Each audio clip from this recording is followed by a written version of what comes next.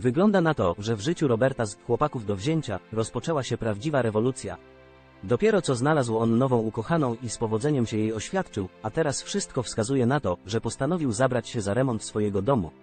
Do tej pory jego przybytek delikatnie mówiąc wywoływał mieszane uczucia wśród większości fanów programu.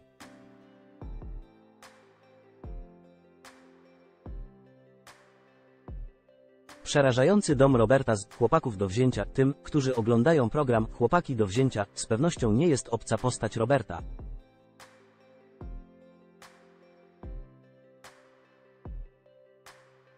Sympatyczny emeryt od pewnego czasu regularnie pojawia się w produkcji Polsat Play w nadziei, że uda mu się znaleźć tą jedyną.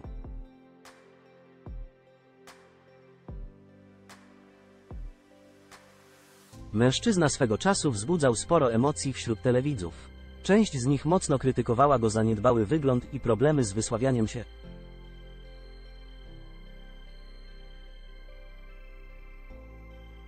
Inni zaś byli przerażeni warunkami, w jakich mieszkał, wszechobecny bałagan, obskurne wnętrza, niewykończone i jednocześnie już zniszczone ściany, a także zapuszczone podwórko sprawiały, że mało kto dawał Robertowi szansę na znalezienie miłości.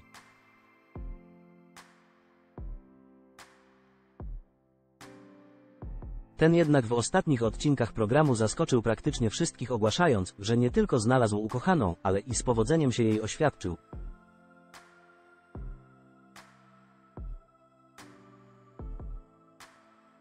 Kapitalny remont u Roberta z chłopaków do wzięcia wygląda na to, że znalezienie ukochanej sprawiło, że Robert postanowił w końcu coś zrobić ze swoimi włościami.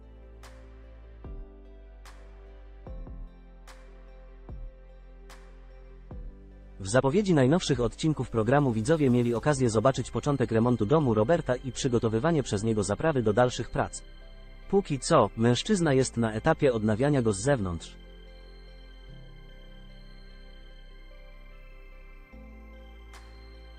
Sceny te jednak dają ogromną nadzieję na to, że niebawem również i w środku jego lokum zapanują znacznie lepsze warunki.